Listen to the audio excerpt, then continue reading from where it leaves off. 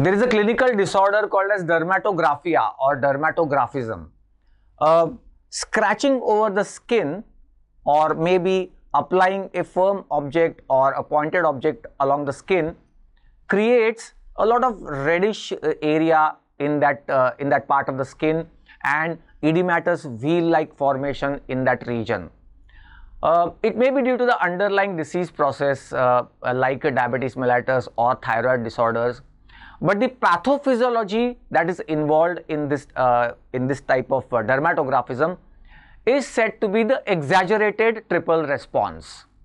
So in this video we are going to understand what is triple response or triple reaction and that might be getting exaggerated in the dermatographism. Before we start with the uh, with this triple response we need to answer one question can an afferent nerve fiber conduct the impulse in an efferent fashion? Is that possible? It's called as antidromic conduction. Is it possible? Does it happen anywhere in the body? Have a look at the diagram. Here is an afferent neuron, sensory nerve fiber. It has got these branches which start from the skin and they go to the spinal cord, afferent neuron. So all these branches and this neuron is expected to conduct the impulse towards the center. It's an afferent fiber. But you can see here one branch or maybe even more are conducting the impulse in an antidromic fashion, in the opposite fashion, in the efferent manner towards the periphery. So is this possible? Yes, this is possible. This happens in the triple reaction and uh, it is responsible in fact uh, for some part of the triple reaction. So let's see what this triple reaction is and uh, what is the basis for it. It was first uh, described by Lewis in 1927. Lewis described many other reactions related to the cutaneous circulation like uh, Lewis's Hunting reaction uh, but we are going to focus on this one. Uh, if you apply a light stroke along the skin, then you see a milder form that is white reaction. White reaction means a white line appear uh, will appear within 15 seconds and it is because of the capillaries getting mechanically compressed and the blood uh, getting out of that region so uh, region will appear blanch blanching of that region and it will appear little white for some time.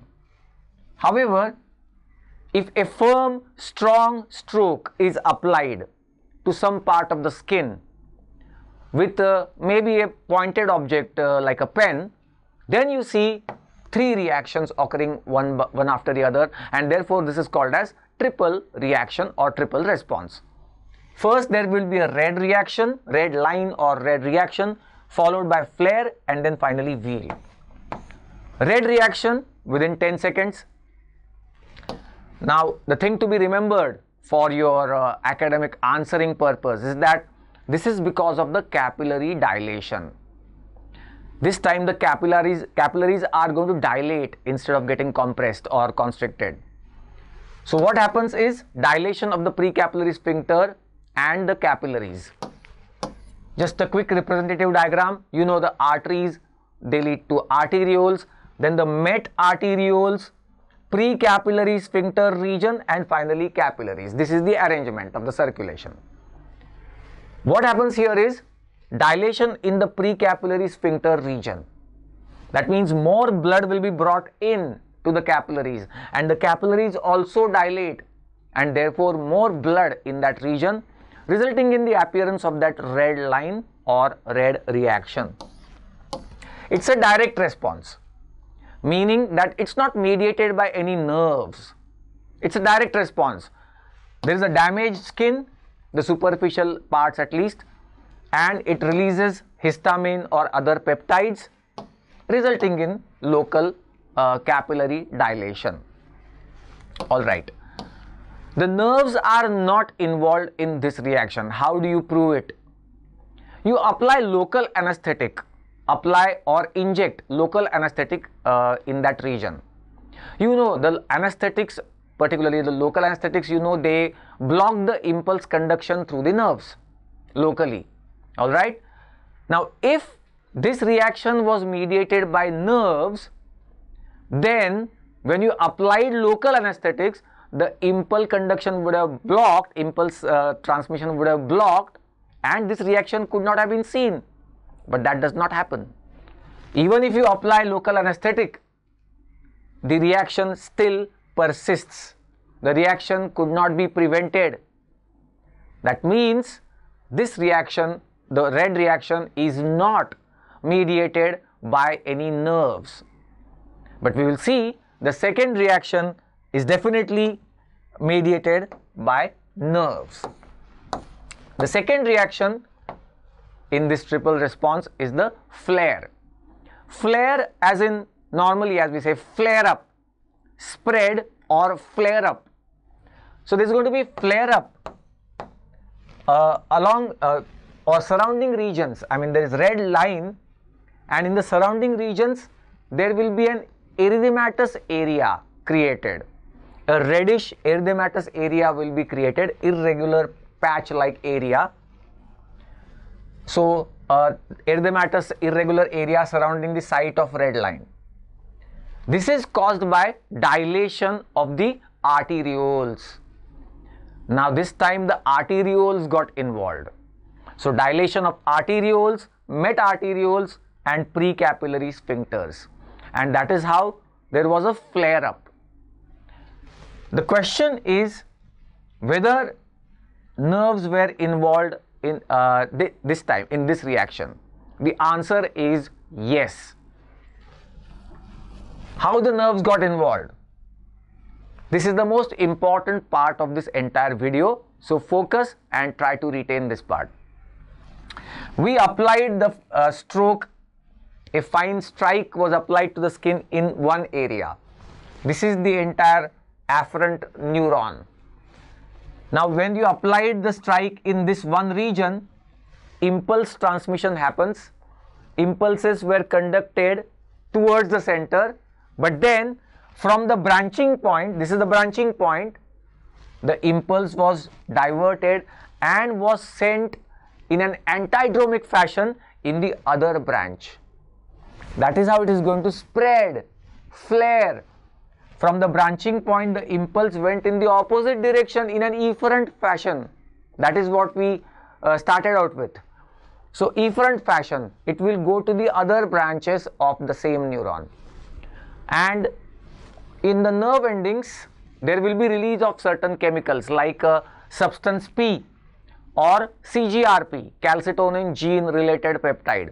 These are the known vasodilators. So they will dilate the arterioles, nearby arterioles. And that is how that redness will spread uh, irregularly uh, from the area of that red line. So, what have we gained so far from this? Is that there is axon, by the way, this is called as axon reflex. This is an axon reflex, and what we uh, proved is that antidromic conduction is possible. The afferent neuron uh, can carry the uh, impulse in an efferent fashion antidromically and uh, it is it happens in the skin particularly in the flare reaction. Uh, this is mediated by the local nerves. All right. How we prove it? What is the evidence that nerves were involved? We apply local anesthetic again same way. Local anesthetic was applied to see whether uh, the reaction gets abolished. Now this time application or injection of local anesthetic and the reaction is prevented. It does not happen. Flare does not happen. Wheal will have uh, the uh, red reaction will happen, but flare does not happen. It is prevented. It is abolished. That means definitely it is mediated by the nerves. So, but uh, although it is mediated by the nerves, what we want to see either whether it is local nerves, just peripheral local branches, or whether central nerves were involved.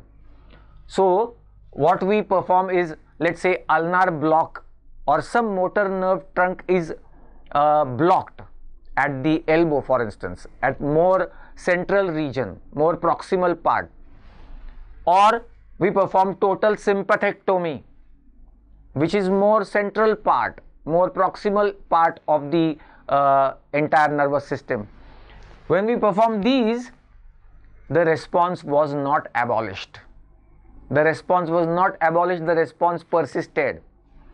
So it goes to prove that only this much area was involved or rather only these branches terminal branches of the nerves were involved. No involvement of the spinal cord or central nerves. That was how it was proven by those procedures. So uh, just the peripheral branches and from one branch it travels to the other branch and that is how flare happens. That's it. The third reaction uh, is called as wheal. Wheel means an edematous elevation, a blister like elevation uh, along the margins of the red line. So, within a few minutes, you will see that there is a elevation, edematous elevation along the line which was drawn. Uh, so, that's wheal. It is because of the local extravasation. What is extravasation?